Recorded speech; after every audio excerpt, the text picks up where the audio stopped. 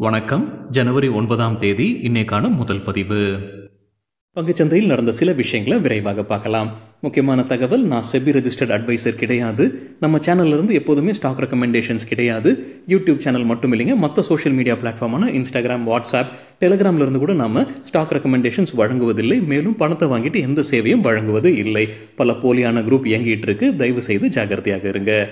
இந்த வீடியோவில் காட்டக்கூடிய அனைத்து கம்பெனிகளும் வெறும் இன்ஃபர்மேஷனல் பர்பஸ்க்காக மட்டுமே முதலீடு செய்யுங்கன்னு சொல்கிற வீடியோ கிடையாது. எந்த ஒரு முதலீட்லையும் ரிஸ்க் இருக்கும். ரிஸ்க் புரியாமல் இன்வெஸ்ட் செய்யாதீங்க. ரிஸ்க் புரியலன்னா தயவு செய்து இன்வெஸ்ட்மெண்ட்டை தவிர்த்துருங்க. நம்ம ருபி டிரைவர் சேனலை ஆதரிக்கிற அனைத்து நல்ல உள்ளங்களுக்கும் நன்றி.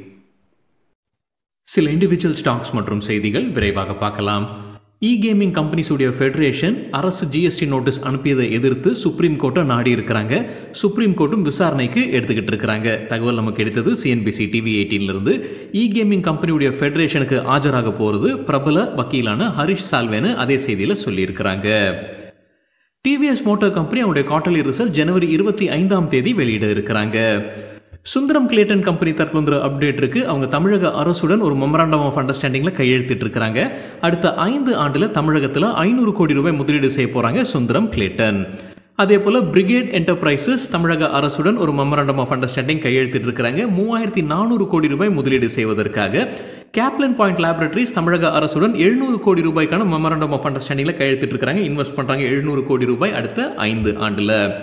ராயல் என்ஃபீல்டு பிராண்ட் வைத்திருக்கக்கூடிய கம்பெனி ஐஷர் மோட்டர்ஸ் அவங்களும் அரசும் மெமரண்டம் ஆஃப் அண்டர்ஸ்டாண்டிங்கில் கையெழுத்திட்டு இருக்கிறாங்க. மூவாயிரம் கோடி ரூபாய் முதலீடு செய்ய போகிறாங்க ஐஷர் மோட்டர்ஸ் அடுத்த எட்டு ஆண்டுகளில்.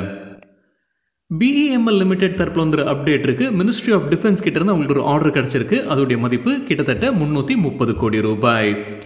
ஜி சோனி மேஜர் குறித்தான அப்டேட் மணி கண்ட்ரோல் வந்து கிடச்சிருக்கு. நம்ம தே- செய்தி பார்த்துருந்தாங்க தேதியை நீட்டிச்சிருந்தாங்க. இப்போ வந்திருக்கிற அப்டேட் என்னென்னா சோனி இதிலிருந்து விலகுவதற்கான வாய்ப்புகள் இருக்குது இந்த மர்ஜரை கைவிடுவதற்கான வாய்ப்பு அதிகமாக இருக்குன்னு மணி கண்ட்ரோலில் தகவல் சொல்லியிருக்கிறாங்க.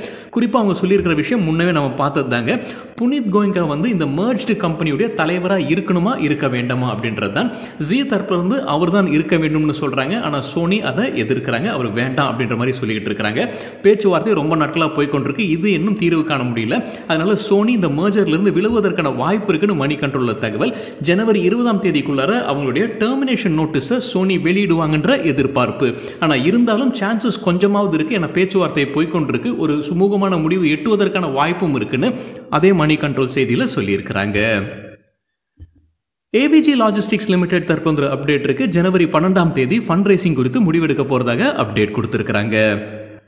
அதானி என்டர்பிரைசஸ் குறித்து சிஎன்பிசி டிவி எயிட்டிலிருந்து கிடைத்த ஒரு தகவல் அவங்க double AI airport authority of India மீது வழக்கு பதிவு செய்திருந்திருக்கிறாங்க. ட்ரிபியூனலில் அது அந்த வழக்குக்கு இப்போ தீர்ப்பு வந்திருக்கு. அதானி என்டர்பிரைசஸ்க்கு சாதகமாக. மும்பை இன்டர்நேஷனல் ஏர்போர்ட் சம்பந்தமாகத்தான் இந்த வழக்கு. என்ன வழக்கு பின்னணி என்னன்னு பார்க்கும்போது கொரோனா காலகட்டத்தில் இவங்க வந்து மந்த்லி ஆனுவல் ஃபீஸ் கட்டி இருக்கிறாங்க ஆனால் அந்த டைமில் ஆப்ரேஷன் சேவை எதுவுமே நடக்காமல் இருந்தது. அதனால் அது திரும்ப தர வேண்டும் அப்படின்றத இந்த வழக்கு பதிவு செய்திருக்கிறாங்க ட்ரிபியூனலில் இப்போ ட்ரிபியூனல் இவங்களுக்கு சாதகமாக தீர்ப்பு வழங்கியிருக்கிறாங்க. மார்ச் பதிமூன்று இரண்டாயிரத்தி இருபதுலேருந்து பிப்ரவரி இருபத்தெட்டு இரண்டாயிரத்தி இருபத்தி இரண்டு வரைக்கும் அவங்க கட்டியிருக்கிற மந்த்லி ஆனுவல் ஃபீயை திரும்ப பெறலாம் அப்படின்றதான் ஆர்டர் அதாவது double AI airport authority of India அந்த பணத்தை திரும்பி தர வேண்டும் வட்டியுடன் திரும்பி தர வேண்டும்ன்ற ஆர்டர் கிடைச்சிருக்கு.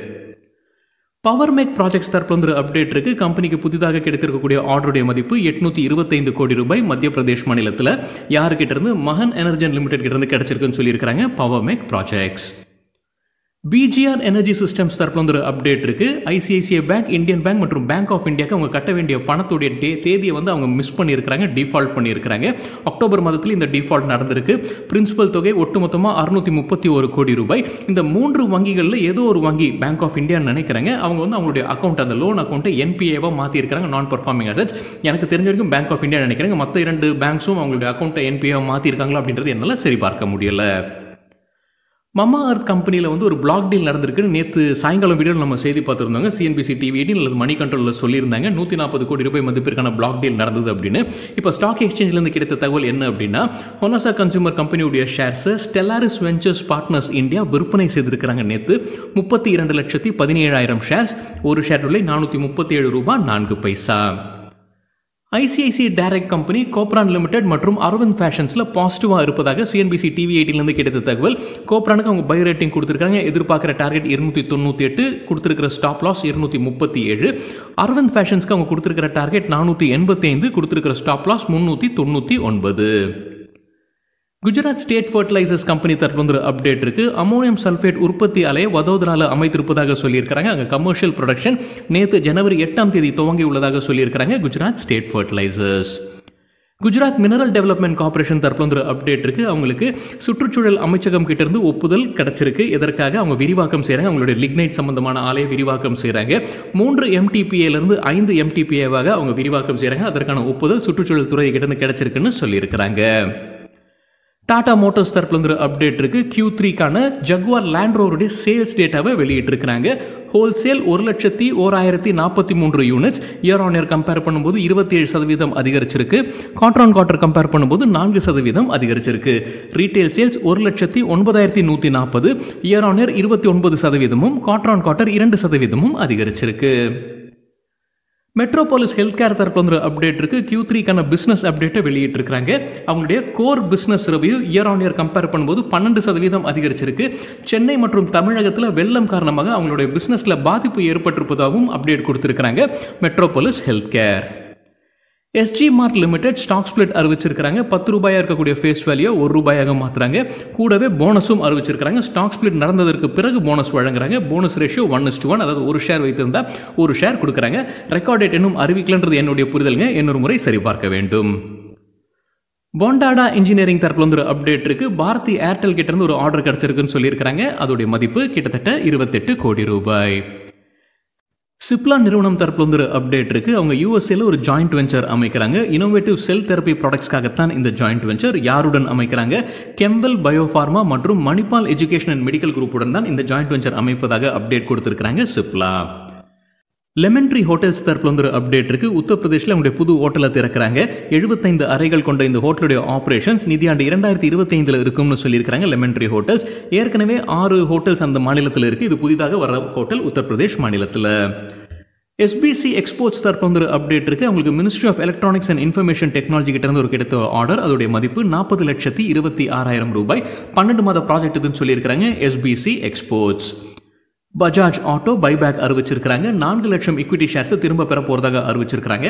ஒட்டுமொத்த இக்விட்டி ஷேர்ஸ்ல இது ஒன்று புள்ளி நான்கு சதவீதம். என்ன விலை நிர்ணயித்திருக்கிறாங்க? பத்தாயிரம் ரூபாய் ஒரு ஷேருக்கு பைபேக்ல நாற்பத்தி மூன்று சதவீதம் கூடுதலாக விலையை நிர்ணயித்திருக்கிறாங்க. இது நேற்று க்ளோசிங் பிரைஸுடன் ஒப்பிட்டு பார்க்கும்போது ஒட்டுமொத்தமாக நான்காயிரம் கோடி ரூபாய் செலவு செய்ய போறாங்க இந்த பைபேக் இது டெண்டர் ஆஃபர் ரூட் வழியாகத்தான் நடக்கும்னு சொல்லியிருக்கிறாங்க பஜாஜ் ஆட்டோ. பைபேக்னா என்ன டெண்டர் ஆஃபர் ரூட்னா என்ன ஓப்பன் மார்க்கெட் ரூட்னா என்ன நம்ம வேறொரு வீடியோவில் டீட்டெயில்டாக பேசியிருக்கோம். பைபேக் ரேஷியோ குறித்தும் நம்ம வேறொரு வீடியோவில் டீட்டெயில்டாக பேசியிருக்கோம். அது முன்கூட்டியே கணிக்க முடியுமோ அதில் டீட்டெயில்டாக பேசியிருக்கோம். இரண்டு வீடியோட லிங்க்கும் இந்த வீடியோட டிஸ்கிரிப்ஷனில் இருக்குது கியூபிட் லிமிடெட் தரப்பில் வந்து ஒரு அப்டேட் இருக்குது நேற்று வீடியோவில் நம்ம ஒரு செய்தி பார்த்துருந்தாங்க. பத்து கோடி ரூபாய் மதிப்பிற்கான ஒரு ஆர்டர் கிடைச்சிருக்குன்னு சொல்லியிருக்காங்க இப்போ அடிஷ்னல் ஆர்டர் அதே நிறுவனத்துக்கிட்டேருந்து கிடச்சிருக்கு. கிடைச்சிருக்கு சென்ட்ரல் மெடிக்கல் சர்வீசஸ் சொசைட்டி கிட்டேருந்து கூடுதல் ஆர்டருடைய மதிப்பு ஆறு புள்ளி ஐந்து எட்டு கோடி ரூபாய். ரிஃபெக்ஸ் இண்டஸ்ட்ரீஸ் ஜனவரி இருபத்தி நான்காம் தேதி ஸ்டாக் ஸ்பிளிட் குறித்தான முடிவு எடுக்க போகிறதாக அப்டேட் கொடுத்துருக்குறாங்க. ஆயில் இந்தியா லிமிடெட் தரப்பு வந்து ஒரு அப்டேட் இருக்கு. அவங்க ஒரு ஜாயிண்ட் வெஞ்சர் அமைக்கிறாங்க. யாருடன்? ஆசாம் பவர் ஜென்ரேஷன் கார்பரேஷனுடன் இந்த ஜாயிண்ட் வெஞ்சர் இதற்காக ரெனியூபிள் மற்றும் கிரீன் எனர்ஜி பிஸ்னஸில் இரண்டு பேரும் இணைந்து வேலை செய்ய போகிறதாக அப்டேட் கொடுத்துருக்குறாங்க. லேண்ட்மார்க் கார்ஸ் குறித்து சிஎன்பிசி டிவி எயிட்டிலிருந்து கிடைத்த ஒரு தகவல் லேண்ட்மார்க் கார்ஸ் அப்படிங்கிற இலக்கு நூறு கோடி வருவாயை எட்டுவது தான் வைத்திருக்கிறாங்க. குறிப்பாக அவங்க ப்ரீ ஓன்டு லக்ஸரி கார்ஸில் ஃபோக்கஸ் பண்ண போகிறதாக சிஎன்பிசி டிவி எயிட்டின்லேருந்து கிடைத்த தகவல்.